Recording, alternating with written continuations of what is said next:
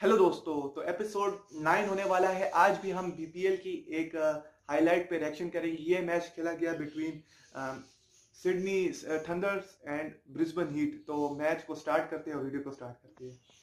तो थंडर्स की पहले बैटिंग थंडर्स ने नौ रन पर ये कोर चौका मार दिया और ये कोर शॉट और सत्रह रन और ज़बरदस्त यार। ज़बरदस्त ट्राई कमाल की ट्राई तेईस पर कोई खिलाड़ी आउट नहीं चार ओवर की गेम हो चुकी है और ब्रिस्बेन हीट के बॉलर्स काफ़ी बेबस है क्योंकि उनकी तरफ़ से कमाल बैटिंग देखी जा रही है और बिल्कुल सब बिल्कुल क्लियर क्लिस्टर वेदर है और चांस बारिश के चांसेस काफ़ी कम है। तैंतीस पर को, कोई विकेट नहीं और पाँच ओवर की गेम हो चुकी है। और ये कोर ड्राइव और ये एक कोर चौका ज़बरदस्त। उनके ओपनिंग बैट्समैन ने काफ़ी अच्छी गेम ऑफ़ क्रिकेट खेली। सात ओवरों में 57 रन बना चुके। और ट्रेडमैन एंड बुलटन काफ़ी चेक किया गया और ये कोर चौका ज़बरदस्त ड्राइव 63 पर कोई विकेट नहीं। और ये एक कोर शॉट और ये चौका मिस फ़ील्ड हो गई और चौका हो गया। 71 रन और तो एक बाउंड्री पे कैच आउट हो गई। इकहत्तर पे पहले विकेट गिर। गई और ये एक और क्लीन बोल्ड हो गई, तिहत्तर पर दो। और तिहत्तर पे तीन बैक टू बैक तीन विकेट लेती और बारिश की वजह से गेम स्टॉप हो गई। फिर गेम स्टार्ट हो गई। और सिडनी को, और ये मैच जो है पाँच पाँच ओवर तक महदूद हो गया। और अब जो है, अब जो है, अब जो है तीस बॉलों पर फोर्टी फाइव रन चाहिए ब्रिस्बन को। क्या ब्रिस्बन बना सकती है कि नहीं बना सकती? क्योंकि बारिश काफ़ी हुई है। और ये कोर्ट ड्राइव और ये कोर्ट होगा हैरिस की तरफ़ से। और ये स्टम्प आउट हो गई। ग्यारह ओवर पहली विकेट ब्रिस्बन की। और काफ़ी अच्छी स्लो ऑर्थोडॉक्स बॉलिंग करवाई। बैक टू बैक दो wicket to back to back दो स्टंप ग्यारह पर दो खिलाए आउट मेरे ख्याल से ब्रिस्बन जो है प्रेशराइज हो गए और अब और ये कमाल की शॉट और ये बाउंड्री पे कैच आउट हो सकती है। हो गए।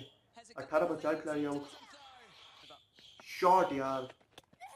शॉट और ये बाउंड्री पे कैच आउट हो गई बीस पर पाँच खिलाड़ी आउट और प्रेशराइज हो गए हैं ब्रिस्बन और काफ़ी अच्छी बॉलिंग बाईस पर छः खिलाड़ी आउट और ये करारा छक्का तीस पर छः खिलाड़ी आउट और ये मेरा ख्याल से आखिरी बॉल पंद्रह रन चाहिए और ये एक और बंदा आउट तो तीस पर पूरी टीम आउट हो गई और ये मैच ये मैच सिडनी थंडर्स बहुत ही आसानी जीते, क्योंकि सिडनी थंडर्स ने कमाल की तेज बैटिंग की और ये मैच बारिश की नज़र हो गया, और फिर ये इस मैच को पाँच पाँच ओवर तक महदूद रखा गया। और ब्रिस्बन हीट को 45 रन चाहिए थे जीतने के लिए, लेकिन ब्रिस्बन का काफ़ी अच्छा स्टार्ट रहा था, लेकिन फिर वो एक सडन कोलैप्स उनके बैक टू बैक दो प्लेयर्स रन वो स्टंप आउट हो गए, जिसकी वजह से ब्रिस्बन जो है टम्बल हो गए और फ्लॉपी हो गई और ब्रिस्बन हीट ये मैच जो है थोड़े रन से शॉर्ट हो गए ब्रिस्बन हीट ने अपने पाँच ओवर बनाए, तीस रन तो काफ़ी अच्छी गेम ऑफ़ क्रिकेट देखने को मिली।